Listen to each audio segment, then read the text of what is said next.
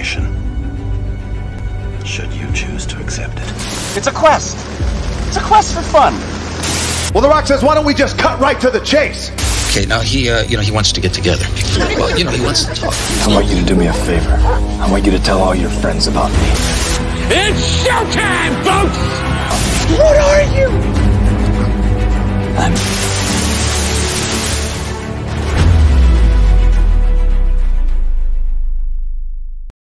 Greetings and salutations. Welcome to And I Quote, the weekly show. We introduce you to content creators of all shapes and sizes. joining us from any and all corners of the nerd universe to find out more about them and what plans they have for the future. I am your host, Ryan of Nerd Culture, and our guest this week is a legendary writer and poet. Please welcome Molly Daniels. Molly, welcome to the program. How are you? I'm doing well. How are you? Doing well. And if you have any questions for Molly during any portion of this show, leave us a comment. Let us know in the live chat. We will be monitoring those as we go throughout the course of the show. So, in the meantime, Molly, what were some of your favorite books or writers growing up? Oh gosh, um, we've got to go way back. Um, I started reading my mother's biographies in the second grade. Um, she had Harriet Beecher Stowe, Mary Mapes Dodge, uh, Sacagawea, and uh, Julia Ward Howe, and just read those over and over again. And then she introduced me to Little Women by Louisa May Alcott, and I was hooked. Um, and then um, Beverly Cleary with the Ramona and the Beezus and Ramona and Henry in the Clubhouse. That whole series hooked me. And um, and then later on, I moved on to Nancy Drew Mysteries and Judy Blume. I think Judy Blume I got introduced in about the sixth grade, and just had to read read everything of hers. So I was, and then there, of course, there's a lot of books in my junior high library that only had my name on it when we had the card and my name filled both sides. I, I checked them out so much. So all my life been a prolific reader. Oh, there you go. Good title, some classics right there. No worries yeah. about that. Now, when did you specifically decide to become a writer?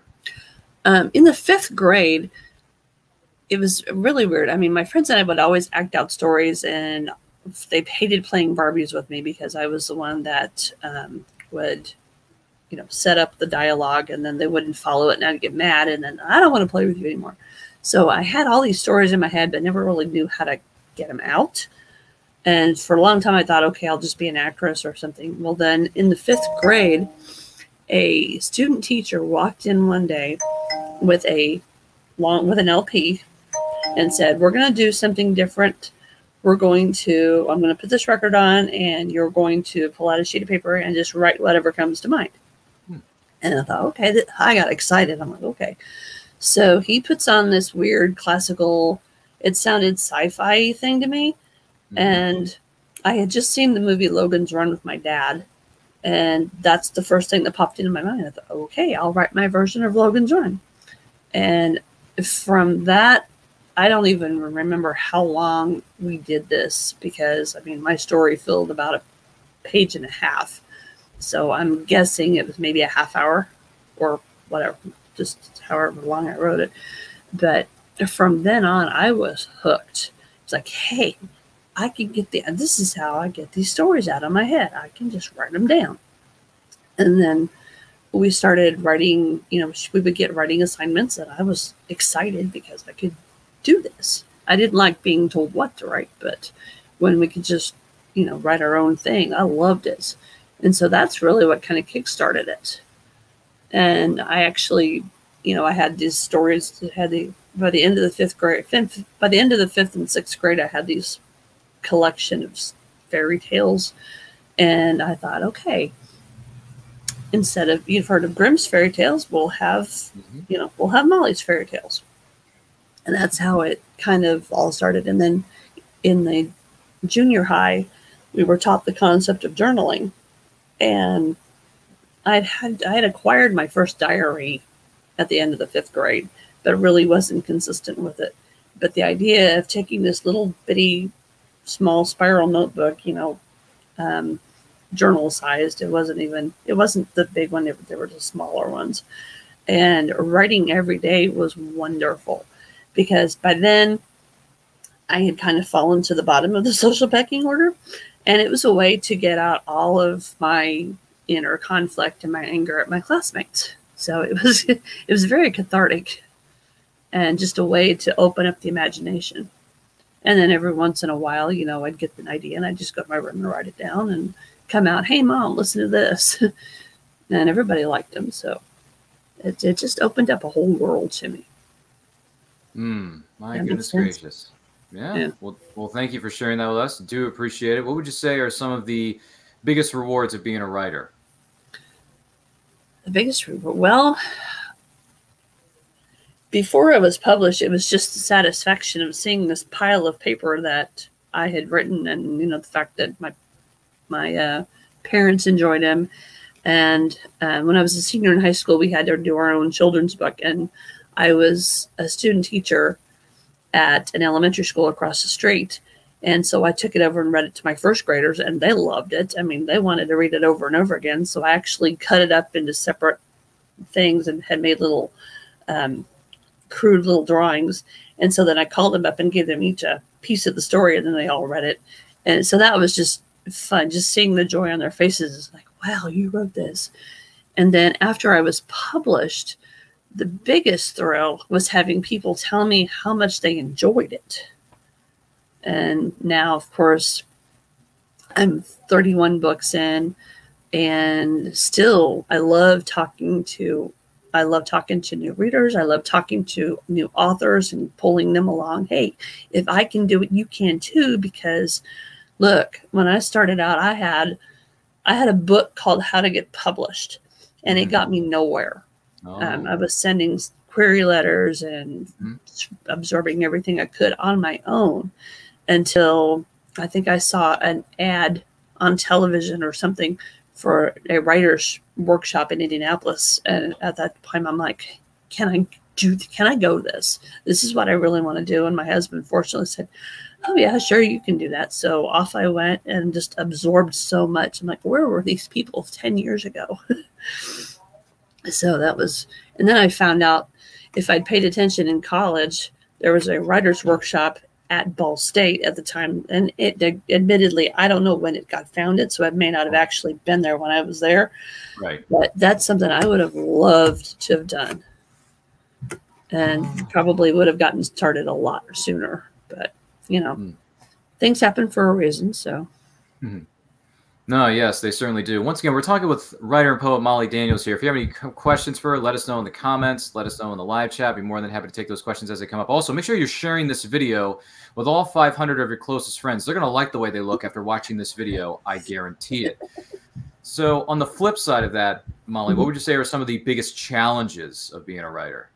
the big biggest challenge is um, right now is actually doing the writing um, and just taking the time to do it because um, life kind of imploded on us about 10 years yeah 10 years ago. And before that i mean i was dedicated. I um, i would i loved i would love to go back to days where i would send my children off to school at 8 o'clock and then come home, fix myself a cup of coffee, watch the rest of the news, and then shut everything off, turn the radio on, and then just write from nine till noon, Wow. take a break for lunch, and then if I had any errands, I'd do them then, or I would just get back. And the kids knew that if mom wasn't at school when they got out of school, she was in the zone and it wasn't paying any attention to the time and to get on the bus.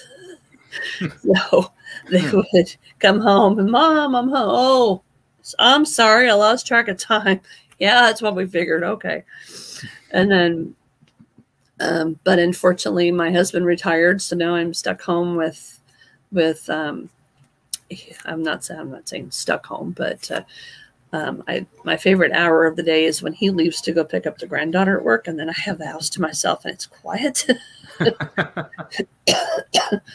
but um, but yeah, life has definitely changed in the last 10 years. And I, I don't spend, I can't spend, you know, six to eight hours in my, at my desk chair working anymore. I have to find it where I can. So, Wow. and which is usually, uh, which is usually right now, sometimes I'll just get started and like, Hey, let's go to the store. Oh, you want me to leave? Okay. so sometimes I can get in a couple of good hours in the afternoon. Sometimes I can grab it in the morning. It just depends on what his plan for the day is.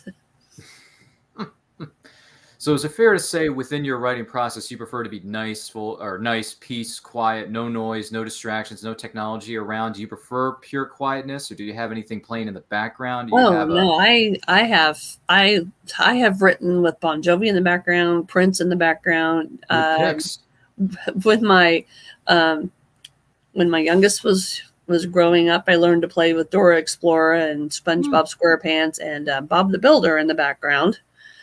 Um, so I Hmm. I prefer the no. I can just it, it helps me get started, but then I tune it out because one day I realized I forgot to hit the um, repeat play on my CD player. Oh yeah, I remember I those things. I had popped in um, Bon Jovi's Lost Highway CD, and all of a sudden realized I. I kind of came to and oh, CD stopped playing. When did that happen? Oh, well, it's been two hours. Apparently, it quit about 50 minutes ago. So-. Whoa, and good. one day I plotted out an entire storyline um, in the bar. I was waiting for a job interview and there was loud music playing, and I'm just plotting. I'm just not paying attention to the noise. I'm just plotting with the, the I'm plotting out the out the uh, general Right. outline of the, of Right. the book. And then, of course, I go. I do sing karaoke once a week, and if I'm in the zone, like right now for um, Nano, I'll take my notebook to karaoke. And um, last year, I interviewed a bridge, and people were like, "Well, how did you come up with that?" I'm like, "Well, I think there was a rum and coke involved, and some bad singing in the background." Yeah, yeah i was i was going to say whatever makes it whatever helps you make it through the process or whatever helps make make you through help you get through the night is what i'm trying to say i'm sorry i maybe Exactly. stumbling over my words there my bad but boy that's a very unique writing process but i'm just curious a quick sidebar here favorite bon Mm-hmm. jovi song favorite Bon Jovi song. favorite one Oh, um, got it's one that doesn't get played a lot. It's called Silent Night. It's off of their first album with Run with um, uh, Runaways on that album. really It's called Silent Night, and I love that song. I wish they would. I wish they would sing it more. Um, my favorite, my favorite uh, popular song is probably still "Runaway." It's a toss up between "Runaway" and um, oh, um, either "I'll Be There for You" Mhm. or um, uh, "Living in Sin." oh love okay. "Living in Sin." okay you know quick side story when i'm at karaoke before the world kind of ended Mhm. when I went to karaoke, one of my first songs was a Bon Jovi tune, and I believe it was is it, it well actually no there's a few, there's a few you give love a bad name Yeah. and Mhm. wanted dead or alive Oh, I do a I do a really good "Wanted Dead or Alive." do you Yes, um, Mm. when Rockstar came out, I yes think it was Rockstar. Yeah, what was that the one Um, with uh what Tom one I? Cruise. Tom Cruise played the aging rock star. oh you mean he- you mean uh, Rock of Ages Rock of Ages. You're right. Yeah. yeah Rock he played Stacee Jaxx yeah Yeah, Okay. yeah. I I think I sing "Wanted Dead or Alive" much better than Tom Cruise. I'm sorry. What? No, that's fine. He should just to being a spy known as Ethan Hunt within the Mission Impossible franchise. My goodness gracious. Well, but before I get to my next question, a number of people want to jump in in here. Willow Schuyler says, Good afternoon, everyone. Willow, how are you? She Hi, is the host of Willow's Pillow Talk, which you can find on HWS Web TV. Hashtag always support your friends. Hey, Carl, good to see you. Carl Whitson Hi, says, I Carl. can't- he, he says, I can't say I have a needy wife and too many house guests, but I wanted to come in and just say and wave hi to everybody. Thanks, Carl. Appreciate it. Enjoy your house guests. Sorry, did that come out wrong? Sorry, Carl. Brian Looking Wenzel forward to see you again. exactly. Brian Wenzel says, "Hello, everyone. What's up, Brian? Host, uh, one of the co-hosts of Reels and Heels. Once again, you can Yep. find that on HWS Web TV. By the way, there she is, Molly. We spoke about you earlier, Keisha. We figured you'd jump in here. There she is. Hello, beautiful people. Hello, Keisha. Hi, Keisha. How are you, Keisha? Let us know. We'd love to hear. We would love to hear about it. That's good stuff. This is it, it. It's so good to have all these wonderful people known as friends. It's great, isn't it? Yes, it is. Oh, friends. Now, you've heard this posted or you've heard this being said in a movie trailer that you may have watched a few times, either either growing up or maybe you've heard it more Mhm. recently. I'm not sure. Every journey has a first step. Every saga has a beginning, but Mhm. every generation has a legend. Now, you took part in something known as Creative Generations. Tell us about it. Well, Creative Generations came about because I had heard that my dad had had written stories all my life, but mom had never mom never knew where they were. Dad would never let us read them. Well, when he passed in November of 2019, we were cleaning out the we were cleaning out his um, office area, and I found his binder full of these handwritten stories, and started reading them, and they were fantastic. And so I was wondering what to, you know what do we need to do with this, and so I thought, well, you know, I, I, I went home and I typed them up. Well, then when we moved my mother into assisted living right after Dad passed, Mm-hmm. We found my grandmother's poetry, some of it. I have some more hidden somewhere in this house. I don't know where it's at, but I will find it. That's the beauty of being self published. I can go back in and add them in. um, but then to make, I was trying to get to 100 pages. So I thought, well, I'll just throw in the stuff that I wrote, you know, the stuff that I wrote as a kid, because I had some really kind of, you know, cutesy stories. So I I dug through my files and found them and put them all in and organized it. And like I said, I was just trying to get a small little book. Mm-hmm. Well, it's kind of funny because like the first, don't know if you can see this, the first part is my dad, and then we have a little tinier section that's my grandmother, and then the rest of the book is all me. I had more stuff in there than I thought. Hmm. So then we were kicking around the idea of what to call it and um, you know, I didn't know if I would wanted to call it like a, a you know, a, um, a tribute to you know like Mike and Molly or something like that because mm-hmm. my dad's name is Michael, oh. and and uh, and then all of a sudden somebody said you need to put something creative in there, and I thought, oh, well, we've got the generations. Why don't we just call it creative generations, generations of creativity? And she's like, I like creative generations. And so we went with that. And then the um, wonderful, I, I, I didn't know who to, who would be best to design the cover because my cover artist mainly does she doesn't really do general fiction she does um, and Donna Dominique does wonderful work um, I highly recommend. She's got her. She's got some beautiful pre-mades, but I looked through all her pre-mades and wasn't coming up with anything that looked good mm-hmm. for this particular thing. And Donna gets sidebar. Donna gets me. I can send her a blurb, and she will send me the most beautiful cover. I think I've only had to request two minor changes. Sure. Yeah, not quite it. She's wonderful. But I had seen some of Kathy Jackson's covers that are really beautiful, and I knew her husband Matt did it. So I thought, I'll send this to Matt and see what he can do with it. Well, he sent me a link to his the sites that he uses and so while clicking through various things, you know, putting in di- mm-hmm. different things, I came across this picture of an old typewriter and I thought that would be perfect because it had a picture, it had a paper rolled up and I thought how awesome is that? We could we could put the title in the paper. Mm-hmm. And so I sent it I contacted Matt and Mad Celt Designs and he sent me that beautiful photo and he said, What do you think of this? I'm like, That's perfect. Let's do it. So, and then he created the whole cover wrap, and we had some interesting challenges because um, I think my father did not want this project to be done because my computer ate the manuscript four times before I had it saved. Ooh. And which was frustrating. I had it saved in um, Scrivener. Mm-hmm. So every time I compiled it, formatted it, beautiful, hit save, exit, you know, close the computer. Next day, where did you go? I can't find you. So had to do it all. I had, had to do this like four times, and then finally the fifth time, I saved it, mm-hmm. and then went back and checked, and like, there it is. Okay, we know where it is. so we finally got that all put together and I wanted the book to come out on June 28th, which was my dad's birthday. And so it came out on his 79th birthday, what would have been his 79th birthday. Oh. And um, so far it's been well received. We opened it up to mainly just family and friends. Mm-hmm. Mm-hmm. Excuse me. And um, people, uh, people are like, "Oh, I had no idea your dad had so much creativity. Oh, this is must be where you get it." I'm like, "Well, yeah, but it's my my mother's grandmother and mm-hmm. my dad. So maybe it's on all sides. Who knows? but um, because I'd have no idea if my my maternal grandmother was a gifted pianist, Mm-hmm. Mm-hmm. and my paternal grandmother, um, she always wanted to play the organ, and she- she managed it a little bit. So I've kind of got a little bit of everything in my background. I've got the uh, I've, my my maternal great grandmother Right. was a concert pianist oh wow. A girl, well, not maybe a concert pianist, but a very gifted pianist. Right. And um, so that's, I guess that's where I get the music from.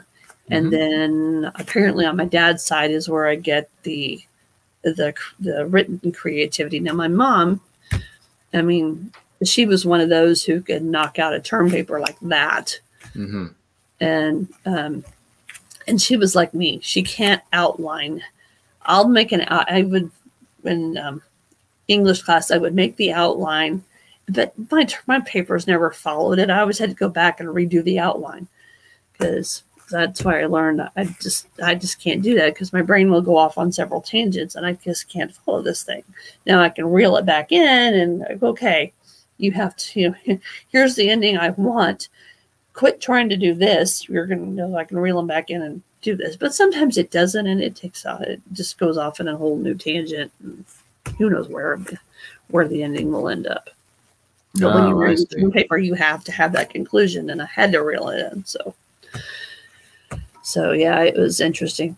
And then, um, Mm-hmm. but like I said, the uh, um, the book has so far been well received with family and friends, and eventually, when we get done remembering everybody we want to send this to, Mm-hmm. I'm going to pull it down and throw in some. I found some raunchy poetry that I wrote in college that my mother really doesn't need to see. So I'm going Oh to put it in there. I'm going to put it in there, and and then open it up wide, because right now it's only available in the U.S. and Canada because my sister lives in Canada. Right. So Right. Oh, Yeah. that's man, my goodness gracious, that is truly amazing. Because I because I know we were all we're always taught to never judge a book by its cover, but I Mhm. must say, this cover is very striking. yeah, It's definitely it grabs it grabs my attention certainly because you see the typewriter, you see where it says the title, and all that information is there for you. I'm thinking, ooh, is this a part? This this is a part of history. This sounds interesting to me. I may want to pick this up and read it. So whenever it's available to the public, definitely let us know. We'll put we'll we'll promote it on our social media channels because this Yeah. looks definitely looks like something I would want to dive into, and maybe you who are watching this would want to dive into. And I have to. I do have to warn you. There's some. Apparently, I didn't have much of a filter in junior high and high school, so some of the essays that I wrote were very just off the cuff. And I'm not someone who likes to go back and edit my work. Mhm. So I was very happy with I can write a good B paper. Had no interest in cleaning it up for an A. So whenever I would turn something in, I just re- I, it what fell out on the page I turned in, and some of the stuff I was reading, I'm like, good lord. So some of it is not in there, Mm-hmm. but the ones and a couple of them slipped in. I when I was um, going back and making my notes at the end, I'm like, oh geez, teenage drama. Okay, but that shows it's it's a very good example of what you can. Uh, what was going on in my 14 year old mind at the time? 14 years old. Uh, Man, I was 14 years old once. Granted, it was a long time ago, but I digress. No, listen, creativity knows no bounds. Let's just keep let's just leave it at that. And by the way, Keisha chimes in here. She says, Hey, I'm good. I'm just getting ready for my own daughter's birthday party. So good on you, Keisha. Hope your daughter has a wonderful Happy birthday, Keisha's daughter. uh, her her daughter's name is Dolores. So there, Happy there you birthday, go. Dolores. There you go. And Brian chimes. He Brian wants to chime in with a little bit of a comment on your favorite piece of music. He says, "The Streets Have No Name by U2. You Yes. two is probably the best song ever written, according to Brian Wenslaw. So watch yourself." Agreed. I love that intro, and that is my favorite. That and Pride are my two favorite U2 songs to sing at karaoke. Well, that is that is fair. And by the way, Brian makes a comment about your uh, your book, Creative Generations. You had me at raunchy. well, there, there you, there you go. Stay tuned for more details on it, Brian. We'll let we'll let you know once we have more details. And he also chimes in by saying, Ryan, weren't you 14 years old last week? maybe Brian, maybe I was, Yeah. maybe I was. I'm, I'm not sure. I'll have to get back to you on that one, Brian. Get, cut me some slack, Jack. Yeah. Once again, we're talking with uh, writer and poet Molly Daniels. If you have any questions for her, let us know in the live chat. Let us know in the comments. We'd be more than happy to take them as we go throughout the course of the program. So we talked about creative generations. Now, this is something that's a little bit that's a little bit more uh, current. Now, I've played in the fan leagues of movie trivia, and one of the categories we have in the fan leagues of movie trivia is called mixed bag. But this doesn't have to do with the mixed bag of movie trivia. Specifically, this is called No. Mixed bag from First City Books. Tell us about Yeah. it. Yeah. Mixed Bag um, came across because we've published, this is our fifth one. Yeah, this is our fifth one. The first one, we had a hotel theme and hotel stories. Oh. Uh, the second one, we had a whisper theme in Whispers, in which I have my first ghost and fairy stories. I'm in a writer's group with mainly fantasy and sci-fi authors, and I'm the only romance one. Well, right now I'm only the only romance author in there, or I was. Um, and we've had come people drift in and out. Um, number three was um, Bad Decisions, which Mhm. is not for the faint of heart. Uh, there's a story in there that Stephen King would be proud of. Not mine, it was another one of our other authors. Mhm. And then um, we, we then we did Bridges last year, and then we weren't sure what to come up with the title for this one. And so we thought, well, let's just do a mixed bag and let's not do any specific theme, just whatever people want to, you know, because people sometimes have trouble adhering to a theme. Mhm. So we just called it mixed bag and opened it up to whatever we wanted to write. And we ended up with one sweet romance, my murder mystery, um, another one that's got an interesting take on the uh, um, Native Native American um, uh, Dreamcatcher idea. It's it's really cool. And then there's two others that I really don't know how to describe. Um, one's kind of a out there sci-fi thing. Mhm. Um, and I, I, I'm sorry, Travis, I really don't know how to describe your story.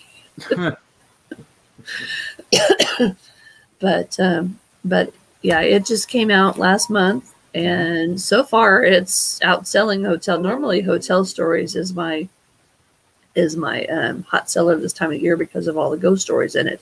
Mhm. And sidebar again, I tell people I'm the lone sweet romance author in a book of paranormal fiction because I didn't get the memo that we were supposed to do haunted hotel ghost stories. Jeez. My ho- my uh, hotel story is assistant manager meets rock star. Mhm. Everyone else talks about the ghosts in the in the in the haunted hotels. so that's why I hopped on board and wrote my first fairy ghost stories and whispers.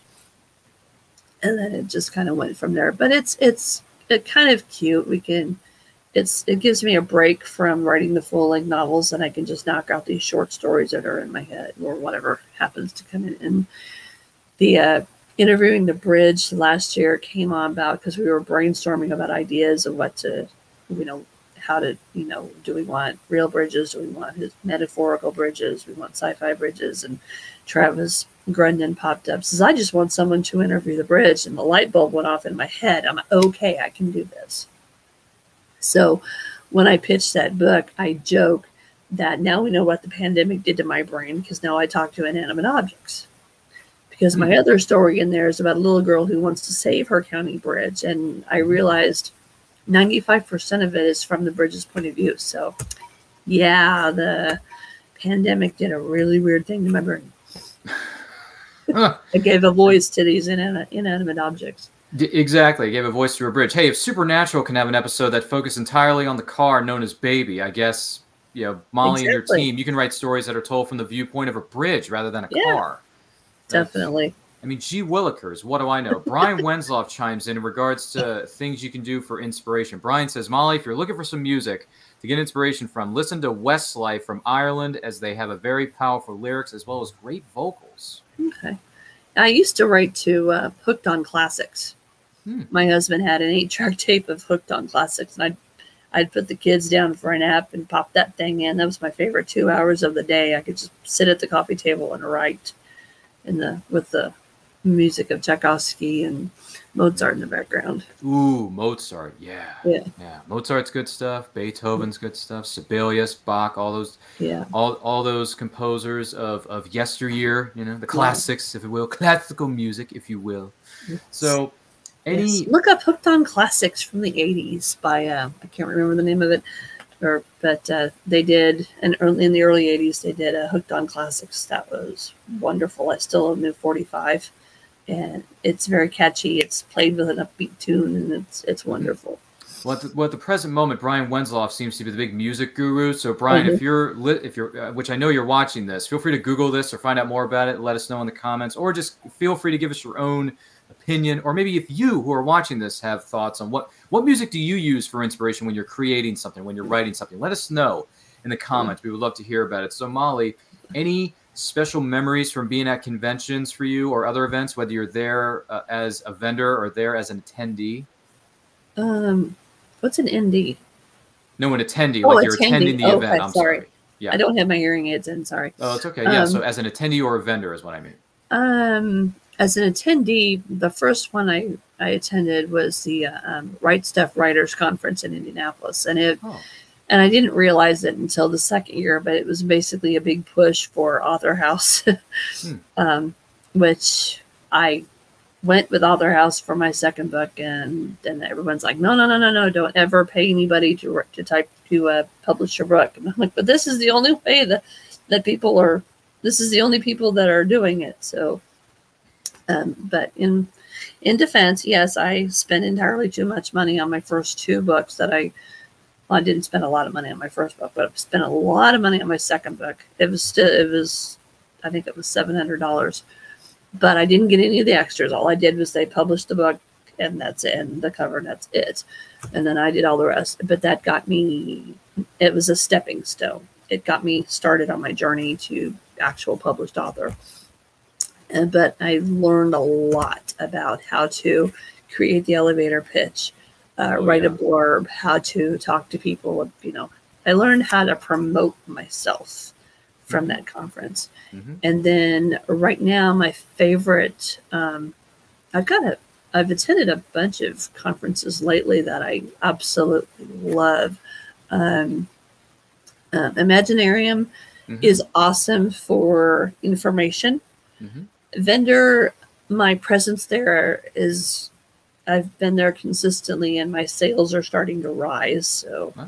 hopefully it's, I mean, I've, there's been a lot of things that I have not made come anywhere close to making booth rent or travel expenses.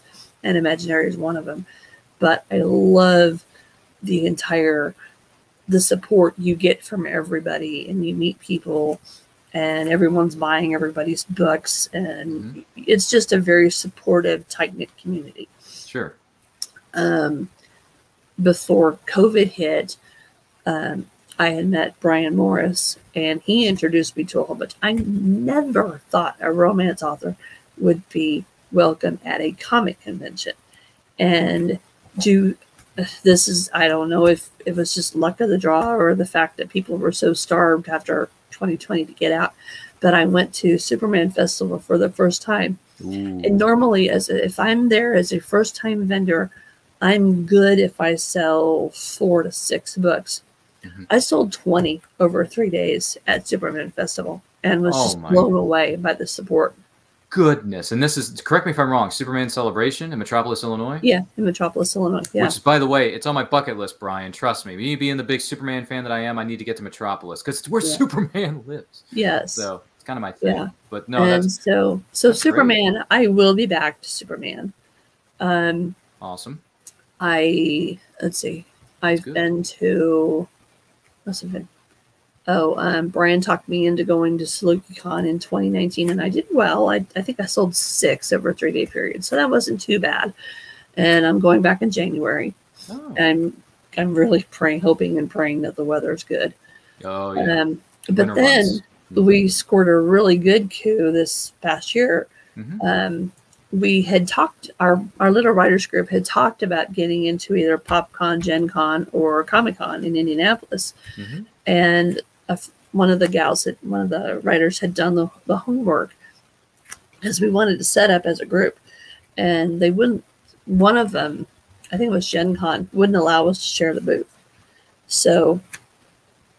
Um, we got in and we found out that um, um, and my sales had been. I, I took a part time job in 2019 so to Mhm. fund my trips because my husband kind of cut me off financially.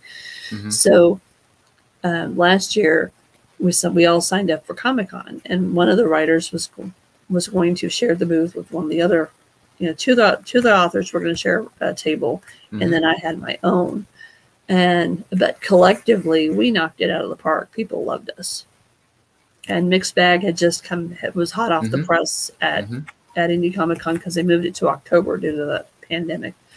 So we had a good turnout. And like I said, um, I think I sold 18.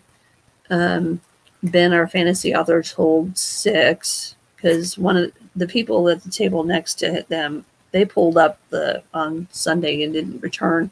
So he moved his stuff over there and then had his own table and did very well. And I think that Nancy, she's our prolific one with the sci-fi, urban fantasy, and regular fantasy one. Um, I know by the end of Saturday, she alone had sold 18. And I think when I talked to her last week, I think during the entire three day event, she sold over um, almost 30 books. So she did very well. Oh and- wow, that is. My We were goodness. like, and she was like, Well, do we want to go back to Comic Con next year? And I'm like, Yes, I want to go back because I had a great time. Not only because I got to, I set up a meet and greet with um, Lana Parrilla of Once Upon a Time and. Chandler Ooh. Riggs of Walking Dead. I'm not a huge Walking Dead fan. I like to watch the Talking Dead because then I can catch up on the storyline without seeing all the. Right.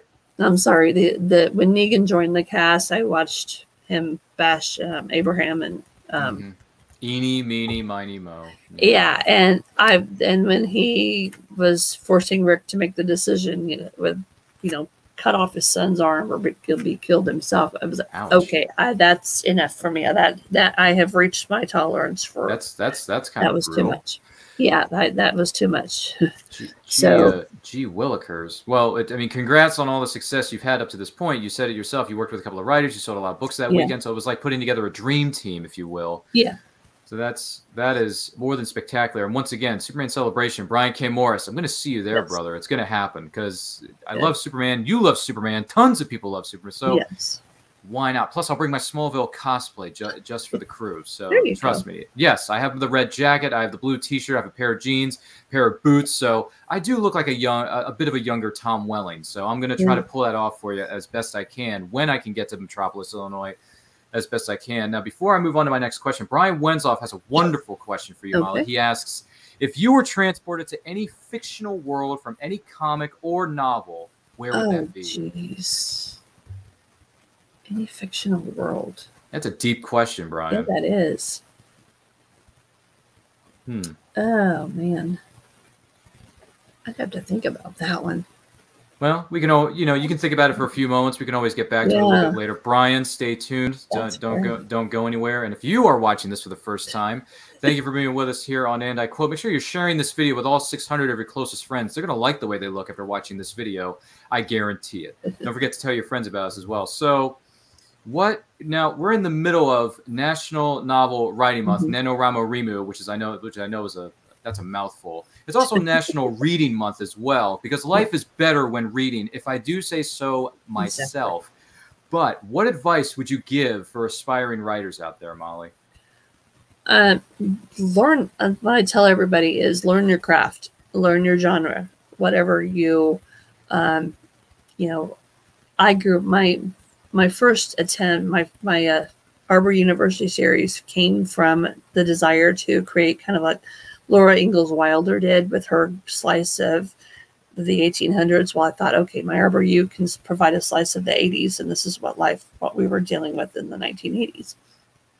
And um, um, but I thought I was writing romance. I turned out I was actually writing women's fiction. So learn what genre you want to write, hmm uh, research, learn basic grammar. I know Mm. it sucks. I hated grammar in in English class, but kudos. They at least taught me how to write a complete sentence. And with I still put. I, I admit I throw in too many commas, but at least I learned to craft your basic sentence structure and your paragraph and everything like that.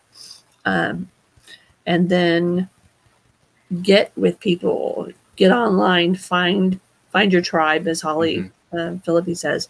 Find your tribe. Find people that's that uh, support you, will help you along the way, whether it being beta readers, um, getting you in touch with um, publishers, or at least people to help you teach you KDP. Now, KDP has opened up a huge um, opportunity for people. Excuse me, because when I was starting out, there was no KDP, there was no CreateSpace. It was just you submitted to publishers, Mhm. and I got nowhere. Well, then somebody I went, I found out about a local writers group, went, and a year later got an email from the person and said, "Hey, we're starting an online Yahoo thing. Come join us." Okay, I had DSL at the time. I didn't have dial-up, so joined.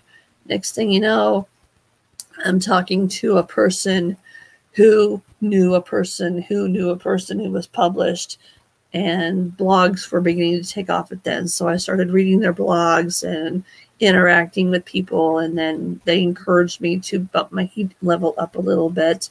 And so I started doing that and sent it to them, said, What do you think of this? They're like, oh, That's great, keep going.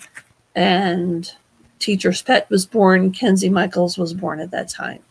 And that's my Kenzie Michaels is my 18 and older person. person. I tell people that Molly Daniels is author peeking in the bedroom door. Kenzie's standing beside the bed taking notes. So if you don't like your bedroom scenes in your face, don't read Kenzie, read Molly. Mm-hmm.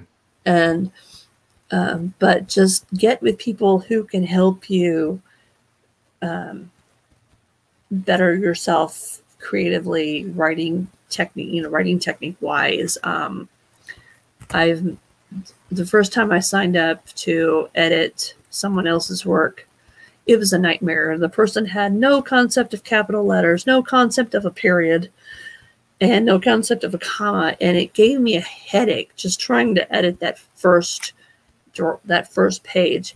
And I mm-hmm. finally just sent her a, a polite email and said, "I am sorry. I don't read this genre. I thought I did." you know, I I'm a person that can read anything. I'll read anything that grabs my attention because I'll read anything from my, my, I love medical horror. I write romance. I love medical dramas. And um, she wrote, she had this kind of out there sci-fi thing. But like I said, the woman had no concept of how to create a sentence. And it, it gave me a migraine. I don't get migraines, but I got a migraine reading that first draft.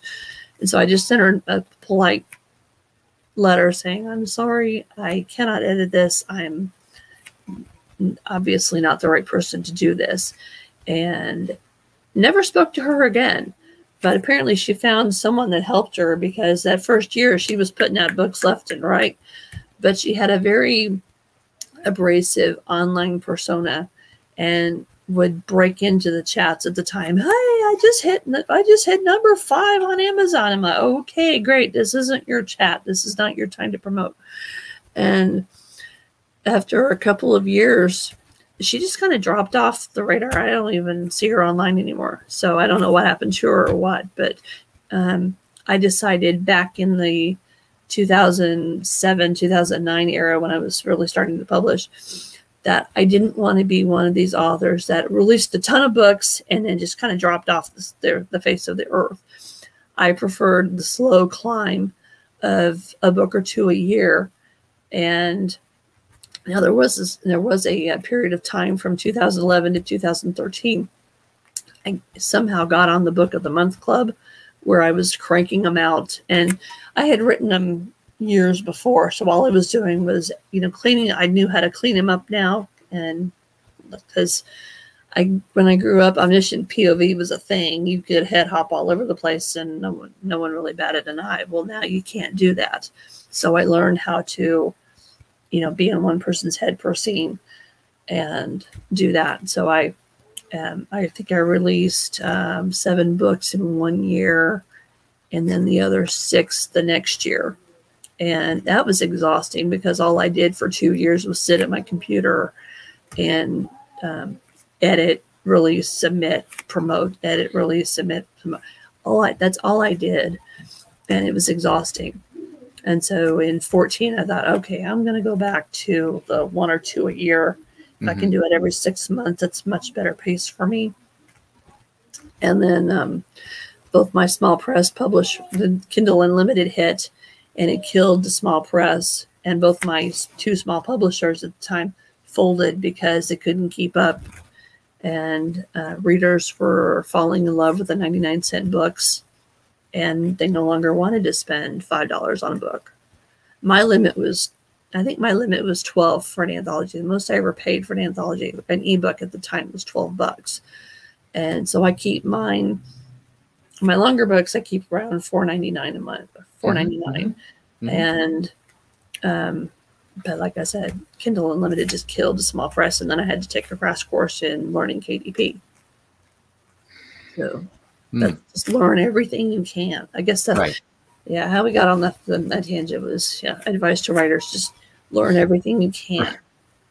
Right, right, right on. So while you're still thinking of some of, uh, or excuse me, if you were going to be transported to a fictional realm, whether it be from a comic or a novel, Brian has another question because Okay. apparently Brian Wensloff drank too much coffee this morning.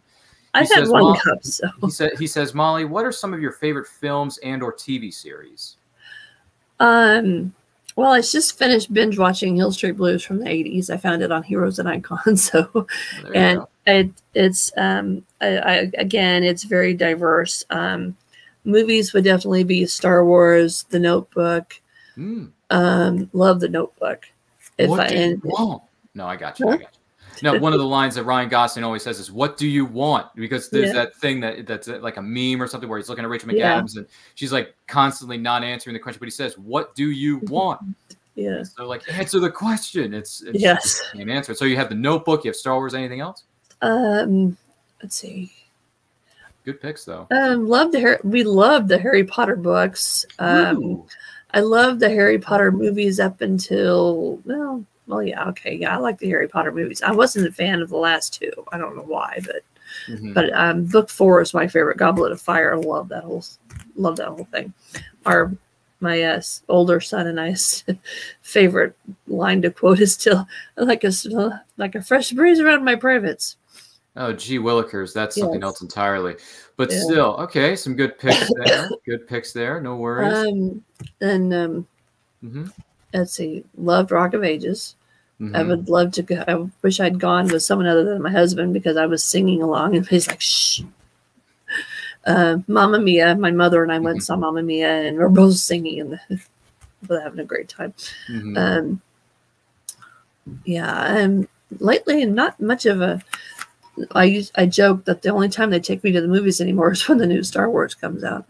Um, uh, my daughter and I went. No, my Yeah. daughter and I went and saw Fifty Shades of Grey, which was oh boy. interesting because I hated the books. I mean, I ripped them to shreds on my blog. That's the only book I will ever rip to shreds on my blog. That's And that's a whole other Yeah. set of uh, circumstances. Let's just put it that way. yeah. Now I enjoyed one and three. Number two, I tried to sleep through. And at the end of one, my daughter went, I paid $17 for this. And I'm like, yeah, well, I enjoyed the music. Okay, it, it was okay. But uh, it became kind of became our mother daughter thing. Was every year we okay, mom, do we really want to go see book two? Yeah, let's go see two. And then the three came out like, do we really want to go see it? Well, we've seen one and two. Let's go see three. And oh my gosh, we loved number three. And the funny thing about it, I tell people, is um, we laughed through the whole thing. We weren't mm, really Yeah. paying attention to the storyline. The scene where they're in the bathtub in Aspen, my daughter and I like, look at the scenery behind them. Oh my God, the mountains are gorgeous. We're not paying attention to the people in the bathtub. We're Yeah. looking at the background scenery. Yeah. And the scene where Cinematography, as it were. Yes. And the scene where she's sitting, the scene where she's sitting at the table Yes. and Jamie Dornan walks in, opens the refrigerator, turns around. Oh, I've been looking for you everywhere, and shuts the refrigerator. My daughter and I went, In the refrigerator? He's looking at for her in the refrigerator. We just laughed through the whole thing. It's more of a comedy than anything else, It most is. likely. I haven't seen any of these movies. The only problem is I made the mistake of watching the marketing, aka the trailers, and I'm thinking Yeah. these are just not even the marketing is good for this. I'm sorry, but it's, No. it's, it's hot No. garbage. But It is. that's it just is. my two cents. If you think differently, I'll let you No, know. but the best part of the mo- the best part of all three movies is the final minute of book three because or the final minute of the third one because it Right. shows you flashbacks from the others and my daughter was like we could have if just all they yeah. did was show me that i'd just be happy because one of them is Jamie Dornan shirtless doing push-ups and my daughter's like i could watch that all day i'm like okay mm. so Goodness gracious. yeah the movies Wow. are the, the books are horrible but the movie the books the, the third movie is not that bad Well, i'm probably gonna get slammed for that but we posed the question and you answered it, so we appreciate you doing so. Thanks, Brian, for opening up a can of worms. But even now tv so, shows tv Yes, shows i yes, yes. loved i loved loved loved once upon a time Mhm, I liked it too. and um Yep, I was a fan. er I was a oncer once upon a time. Okay. Yeah. Um, yeah. Loved ER. I binge watched ER. Mhm, Um, that was a I one, too. need. I. I. I have to admit. Um, I've not watched The Mandalorian yet. I need to find it. And Gotta I, see the Mandalorian. Gotta see the Mandalorian. This is the way, Molly. This is the way. I know. I know. I need to watch it. And um, will with hers. um, I watched the first season of of Stranger Things. I need to get back into it. Um, Netflix, yeah. yeah. hmm That's on And- Netflix. New season. The trailer for the new season, I believe, just came out earlier this week, if I'm not mistaken. Yeah. I am about two seasons behind on that. Oof. Got some And, work to um, do. Yeah, and I sign up for Amazon Prime every year about this year so I can watch the marvelous Mrs. Maisel. Mrs. Maisel, yes. Love that one. Okay. Wow, some good picks, Molly. I am a goodness gracious. A lot of things for maybe you to catch up on, or maybe Yeah. some stuff for for you know, maybe I need to catch up on some of the stuff. I'm not sure, but Brian, great question. good on you, good sir, even though you opened up a can of worms. And just- franchise. Brian, we lost our local channels um, a couple of years ago because Oh, we have a tree that won't um, that interferes with our dish signal, Ooh. and rather than cut it down, we just opted to not get our local channels. But Hmm. um, um, for a while there, I was watching Bull, oh, yeah. uh, Manifest, Mhm. um, all the CBS comedies on Thursday night. Um, Law, Law and Order C- uh, SVU is my favorite of the champ of the Which is still going. It's yes, still going. and it kills me that I can't watch. I have to wait. Um, actually, I might be able to pick it pick it up on. Um, I think it's USA that, that that reruns it on Thursday nights um, Mhm. at like ten o'clock at night. I need to check because that's how I watched. I think up, I think that's how I watched uh, um, season twenty one. Mhm, mhm. So Last I need to yeah. I need to get back on. I need to get back into that one. And my husband's like, "Didn't you just watch this?" No, I haven't seen this one. Well, these are their stories, Molly. So Yes. see what I did there? Yeah. So, my goodness, a heck of a question. Brian chimes in. He says, My wife is actually a language arts teacher. It's her 17th year of teaching. Yes, reading, writing, as well as learning your grammar is super important. yes. He- so he agrees with you on that front. Brian also says that growing organically is the right way to go in learning your craft and things of that Mhm. nature. Oh, look who's here. Michaela Jade says, Hello there. Hi, Michaela. Michaela. My goodness gracious. Another legendary writer. Yes. I got Good to meet her at Heroes for Kids last year. It was great. We had a great time. Did you? That is Yes. just splendid. Brian says, I love the Nicholas Sparks books as well as the movies. Brian, Yes. you are, that takes a lot of guts to admit that. Yes. A lot of And guts. I'm also, um, I also love Jodi Picoult's books. Um, a lot of my romance readers hate Jodi Picoult because she never has a, because of her endings. I'm not going to give them away, but Mm. I love them. I am a voracious Jodi Picoult person. I got hooked with um, uh, my sister's keeper, and I just went back and bought all of them. Oh, you mean that one? Okay, fair, Yeah. fair enough. Fair enough. Brian I didn't says, like what the movie did. The movie did not stay true to the book. I I was watching the movie after I read the book. I'm like, that's not how it's supposed to end. so, hmm, but her books are wonderful. Hollywood, they call it creative liberties, and then Yes. and then, And yeah, and I have to admit, in book three of my chosen series, my sci-fi romance by Kenzie Michaels, Mhm. I was binge watching Deep Space Nine right before I wrote it, so I ripped off, and I I, I had the unique pleasure of meeting Armin Shimerman, who played Quark in Oh. Deep Space Nine. I met him at Comic Con, and I told him, I said, I here I am a huge Star Wars fan, and my in my my uh, sci-fi series, I ripped off the Star Trek Deep Space Nine. Uh, my space station is described as a as a uh, skyscraper surrounded by a wagon wheel. And he goes, Well, why wouldn't you rip it off? It was a wonderful show. And I said, Definitely. yeah, you were part of it. So, hey, all, all, all good there. I actually just became a Star Trek uh, fan uh, during the course of the the Corona Miley Cyrus. Yeah. So, and my favorite Star Trek film. I haven't seen the series yet. I'm in the pro. I'm Mm. start hopefully, but surely going to start getting into the process of catching up on the series, respectively. But my favorite Star Trek film is First Contact Oh, okay. So, yeah. because I'm a, I'm a big Patrick Stewart that fan. I'm a big Patrick Stewart fan. So, Okay. Cap- yeah. I mean, Captain Picard, make it so. I mean, come on. Yes. Um, when um, my my uh, older son was born, we were watching Next Generation every night at ten thirty on Fox. you go. And when he was three months old, I went took him to the doctor for a checkup, and I said, "There's been a mistake. We've he's been switched to birth. This child, who used to go down about nine o'clock at night and would sleep till seven, seven, eight o'clock in the morning." Is now going to bed at seven and waking up at ungodly hours. He goes, Molly, you're just going to have to give up your Star Trek every night and go to bed early. Like, That's hard. That's hard to do. I mean, that that'd be hard for me. And now that I'm a TNG fan, that'd be hard for me to do. So, Yeah. if I were watching it back then when it first aired, I'm sorry. Yeah.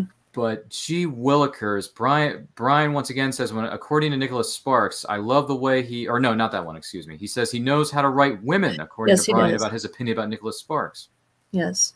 Hmm. And one of my criticisms has been that my men in the early in my early books, they all sound the men always sounded alike. So I found a gentleman who was a longtime friend, and I would send him snippets and say, Tell me if I'm getting the men right. And sometimes he's like, No, no, no, no, no, men don't think that way. And so I would change it. So I was very fortunate to have a a wonderful guy friend who would reel me back in and this is how guys think so hopefully my men are getting a little better Exactly. and then this is also the friend after his he had a he went through a divorce sure. his girlfriend came up one day arrived at his house and said i'm horny and pressed for time. Take your pants off. Wow. and he told me he said you have got to work this into one of your stories. This is this is too good not to use. And so i put it i was able to put it in Idris bet and i read, sent it to him. I said how's this? And he goes oh that's great. This is fantastic Boy, that's one way to So- derail a conversation. No, I'm kidding. Uh, it's fine. No, hey, listen, whatever works, works for a writer or a story or a set of circumstances. Let's just put it that way. Brian Yeah. Wensloff, I don't know where you come up with this stuff. He says Fifty Shades films are actually, they're pretty good. It does have a deeper meaning if you look past the sexual Yeah. overtones. And I'm thinking, Brian, did, what, what did someone, what did you do? Honestly, did you have way too much coffee again? What are you doing back maybe there? he hasn't had enough I don't think you've had enough coffee down there in the state of Florida, there, Brian. So wake us up when you've actually had your fair share of caffeine. Yeah. But still, I digress. Goodness gracious! Wow. Uh, anywho, okay brian i guess if i would have to if i could go back in any fictional um, thing it would either be um, deep space nine or next generation just one episode There maybe inter- I would. Well, it's interesting because one of my stories is based on a Star Trek premise Mhm. when Q gives Picard the opportunity to go back in time and correct something that he's always regretted Ooh, and then show where he's been. Sure, sure. yeah. That's something I would love to do because there I do have a sincere, not really a regret, but I want always wonder what would have happened if I had not if Mhm. I was faced with a choice and I chose one path. What would have happened if I had chosen the other path? I've always wondered about that.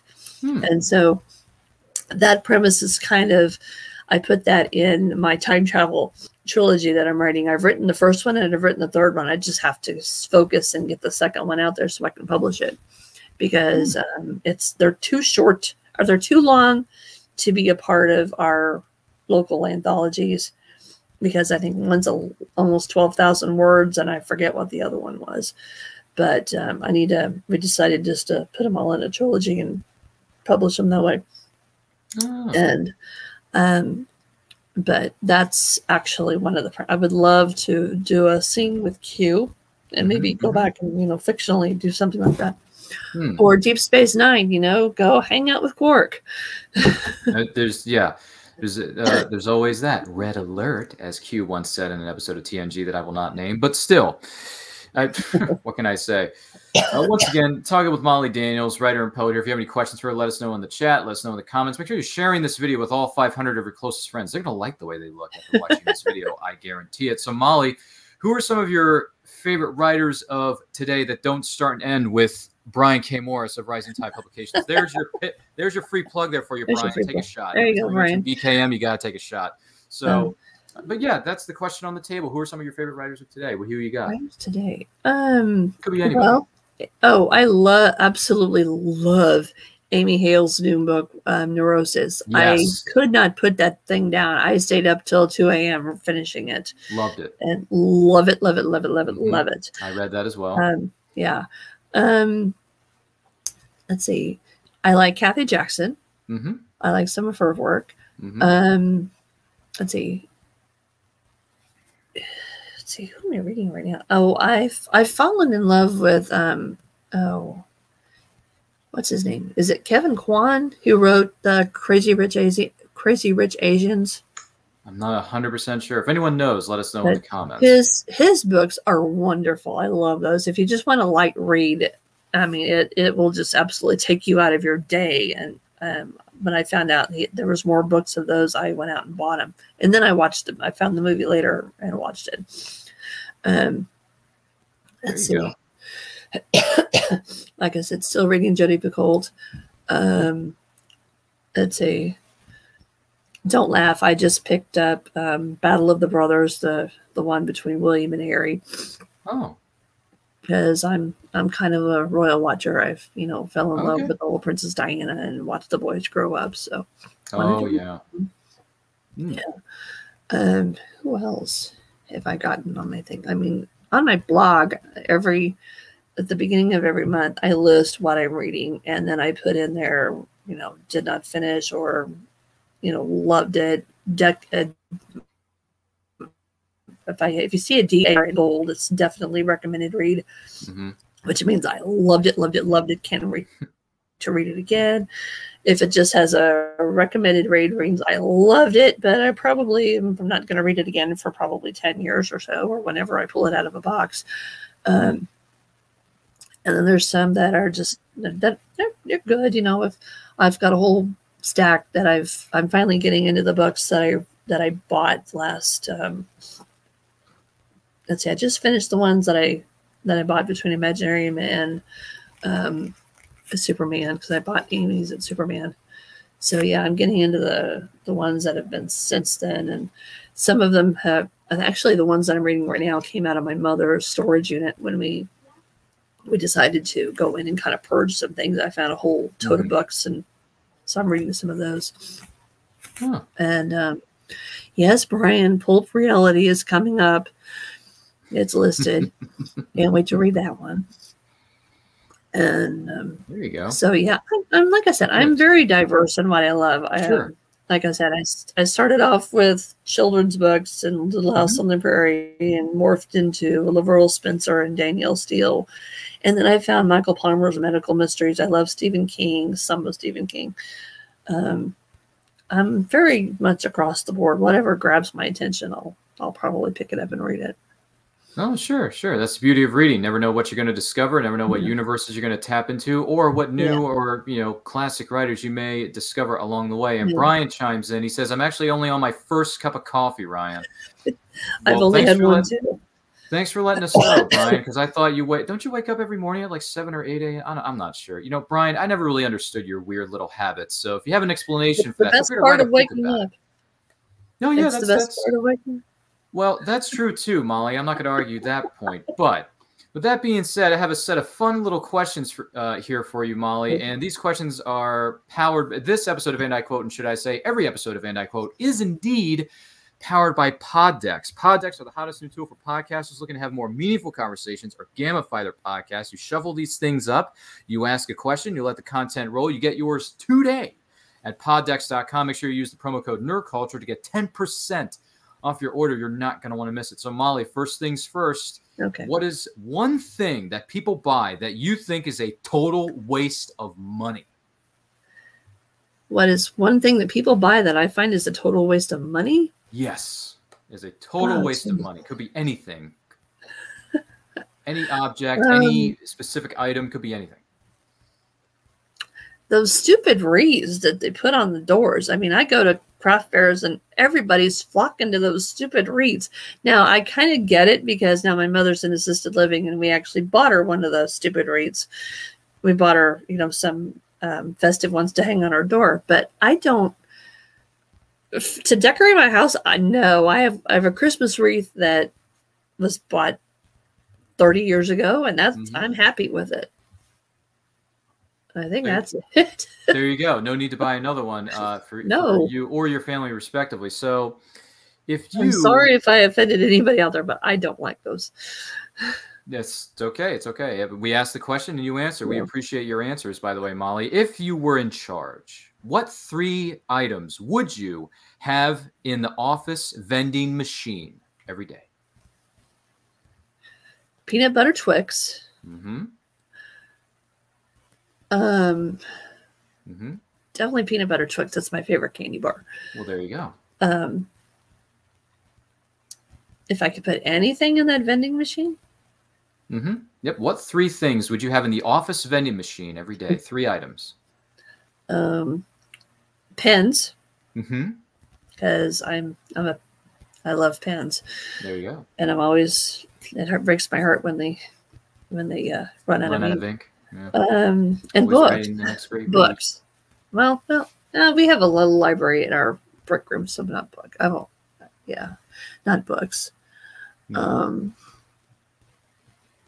Oh, jeez. um, maybe gold leaf iced tea. I'm not a fan of the pure leaf. We have pure leaf in our in ours. So Oh. Okay. I like the gold leaf a little better. Oh, okay. Right. Good iced tea. So you got a little bit of a food, a beverage, and a writing utensil, something known as pens, because you can never have enough pens in the house. Or No, in this case, don't. it would be in your office located within the vending machine itself. So we'll leave it at that. I have a cup of. I've got a. One of my friends had um, gave away a coffee mug several years ago, and I used it to hold my pens, so the ones that I'm currently using. And my granddaughter has fallen in love with them. And I went in there the other day, and there was only two in the cup. I'm like, where did all my pens go? And then come to find out, she dismantled one of them. One of the, I had a some. I think um, some a pen that I had picked up at at some event hmm hmm had multicolors in it, and she took the thing apart. I'm like, why? So I'm like, well, maybe I'll run into her again, and I can get another one. I'll buy multiples, you know, put them in the cup, and then hide the hide the rest. Well, there you go. Uh, support indie creators and support uh, small businesses. There you go. yes, and keep them away from inquisitive nine year olds who like to dismantle things. How does this thing work? You can always buy you a book called How Things Work, and then you won't have to dismantle the actual objects. Oh no, it's much more fun to take it apart, you know. Okay, Well, that's fair too. I'm not. I don't want to, you know, throw anyone's creativity out the window Yeah. completely. But I'm just saying, if you want to save some time and energy, you can always get the book. Nothing's wrong with reading a book or an encyclopedia. Oh no, I mean, did anyone remember the encyclopedias we had at our school libraries when we were Yes. children? I mean, I remember those things just being on those aisles on those smaller shelves, you know, right here. It. I'm older than Google. Yes, encyclopedias and the Dewey Decimal System was our Google. Well, that, that that's okay. Hey, listen, Molly, age is just a number. Don't worry about it. By the way, Brian has an answer to the question. What three items would you want to put in an office vending machine? He says, let me see, rum, Rum, Coke, Coke. and Oh, chocolate yes. chip cookies. Wow, Yeah. Brian, you're really kicking ha- kicking off happy hour early, aren't you? At nine at nine a.m. Yes, I totally agree. Gee willikers, Brian. Yes. Those are the Maybe three things. Bailey's, Bailey's Irish cream. Hmm. Well, there's, there's that. So if you're going to have something in your office vending machine, what would it be? Let us know in the chat. We would love to. Jose Silver tequila. If, maybe I'm not. I'm not quite sure. What do I know, right? I, I'm I'm just a podcast host and a producer, I might add. But anywho, uh, next question: Have you ever been kicked out of anything? And if so, what was it? Could be anything. Have I ever been kicked out of anything? And if so, what, what Um, was it? Uh, I don't think I've been kicked out of anything. Hmm. I honestly don't think I. Brian um, chimes in. It's five o'clock somewhere, Ryan. Thanks, Brian. exactly. We appreciate Exactly. that. Thanks for chiming in there, Exactly. buddy. Okay, that's cool. That's cool. Well, how about this one? What is your kryptonite, Molly? My kryptonite chocolate. See there. See there's. There you go. There- that's the thing. That's the thing. Hershey Bliss, Hershey Bliss chocolates, Lindor chocolates. Oh, love them. Oh, well, 'em. there you go. That answers that that super that answers that awesome tacular question. we want to we want to take this opportunity to thank Molly Daniels for being our guest this week on And I Quote. Molly, thank you so much for being with us. What projects do you have coming up, and where can everyone find you online? Uh, they can find me on I'm on Amazon.com. Um, MollyDaniels.wordpress.com is my website. Eventually, I'll get that WordPress.com out of there and just be. Uh, it can't be MollyDaniels.com. I had a T-shirt made up with that, and a friend of mine pointed out that um, the person who owns that posts naked pictures of themselves. Like that's not me. That is not me.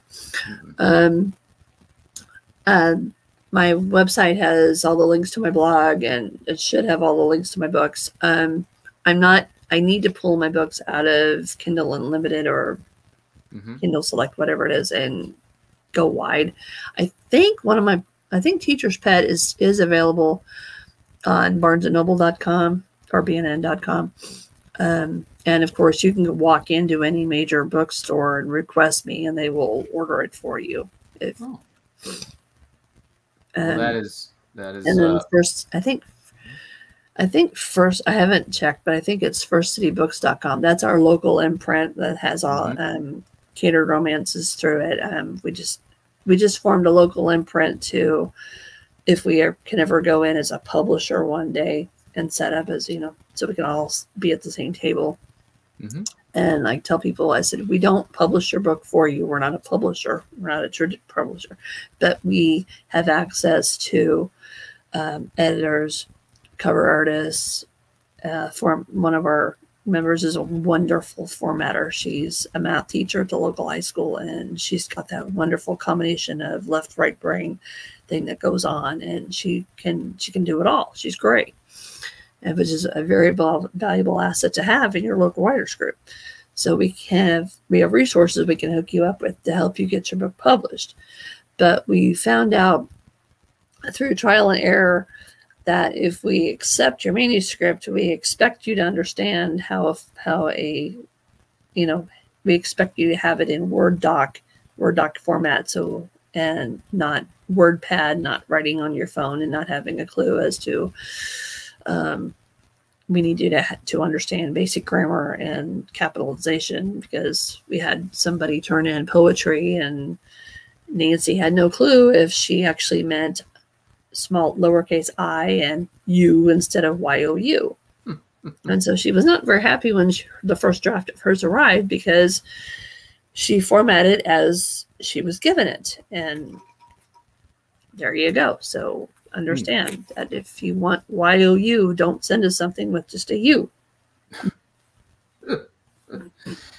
Well, once again, thank you very much for being with us here, Molly Daniels. The links to where you can find Molly are located within the description of this video, as well as the links for other guests we have had previously here on And I Quote. Those are located in the descriptions of those respective videos, which you can find on our YouTube channel. Make sure you're following us on all forms of social media simply at It's NerdCulture. New videos are being posted each and every week. And I Quote is every Saturday at 12 p.m. Eastern Time, so make sure you tune in for that. Once again, my name is Ryan of NerdCulture. To you, from, on behalf of myself, on behalf of Molly, we wish you to uh, wish you well. Stay healthy, stay strong, stay safe. Support content creators of all shapes and sizes. Support small businesses. Read books. And in the words of a wise person that once said, "Live long and prosper." And happy, excuse me, happy National Writing, National Novel Writing Month. Happy National Reading Month. All that good stuff. Yes. Take care. I'm GW Pomacher. I'm Dina Marie. I'm Sage Ia. I'm Thomas Carter Rochester. Hey, I'm David Thompson. Hi, I'm Kevin. And I'm Mia. Hi, I'm Mark. Hey there, this is Dave Adams. Hi, I'm Rosemary Rose. Jerome Conner here. Hey guys, it's Josh Bauer. It's Willow Skyler. I'm Cosplay Michael. I'm Alva. It's your boy Country. I'm Ryan Permison. And I'd like to ask you guys, please subscribe. Please subscribe. Please subscribe. Please subscribe. Please subscribe. Please subscribe. Please, please, please subscribe. Subscribe. Subscribe. Subscribe. Please subscribe to HWWS Web TV. Great bunch of people. And don't forget to smash the bell. Ring that bell. Smash that bell. Hit that bell. Hit the bell to be notified. Hit the bell to get notified of new shows and videos. You're going to want to do that, so do that soon. So we can cross that 20,000 mark. And get us to 100,000 subscribers. To a million, and 10 million, and 100 million. On HWWS. Web TV. You really like it. I guarantee